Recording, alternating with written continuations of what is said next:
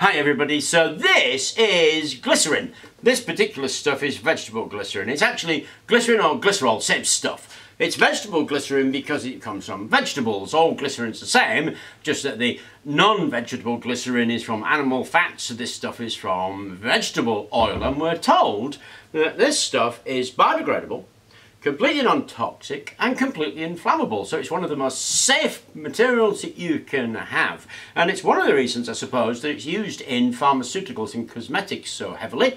It's also used in vapes actually Vape fluid is about 50% glycerin, 50% polyethylene glycol, bit of nicotine, bit of colour sometimes, and some fancy flavours. Rumour has it it's great for cracked skin and chapped lips because of course winter is coming and it's cold out there woodchuck chuckers, so this could be used for that.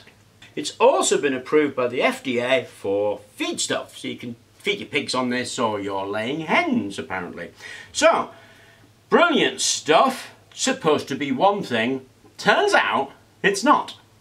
Because of course glycerin has its problem. Glycerin is also a byproduct of the production of biodiesel and because biodiesel has got so popular people are making tons of it and we made some in video 1672. Let me show you something.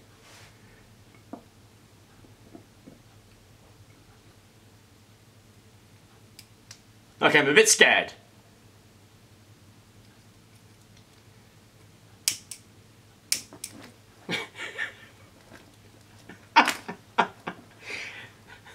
So much for non-flammable. Ow! That's hot. Actually, there's been a couple of research papers come out to say that glycerin, far from being non-flammable, is a fantastic material for sticking straight, oh let me just move that, straight into a diesel engine just as is.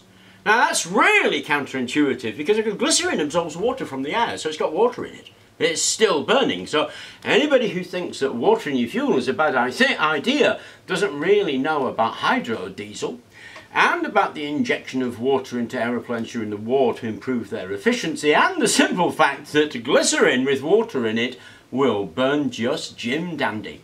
Glycerin with water seems, according to the research, is more lubricating than diesel and even though the cetane factor is lower you can get so much more mass out you can get roughly the same energy out of it. So much so that Formula E asked Aquafuel Research to develop a container sized generator that they could lug around with them and generate their own electricity from glycerin.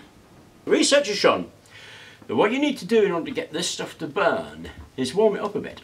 You warm it up a bit, about 200 degrees uh, Fahrenheit, before you inject it into your diesel, and you up the compression ratio of the diesel a bit, and suddenly you have the perfect fuel for a diesel engine. And if you're thinking about what to do with this, then of course there are a ton of diesel room heaters kicking around. This stuff at the moment is dirt cheap, courtesy of the biodiesel industry seems like it'll go straight into those heaters. Now, I love that on so many levels. One is, it shows you what can be done when you think out of the box instead of accepting what you've been told. Because glycerin is supposed to be perfectly safe and non-flammable, and we can see far from it. We made this glycerin from our biodiesel experiment, and the whole thing was a little bit dramatic. You notice I was a bit scared to begin with? Well, that's mostly because I've already tried this, and of course I've burnt my fingers a couple of times. But I would show, I thought I'd show you that this material is in fact completely the opposite to the way we think about it. I hope you enjoyed the video. Thank you very much for watching, and please do remember to like and subscribe.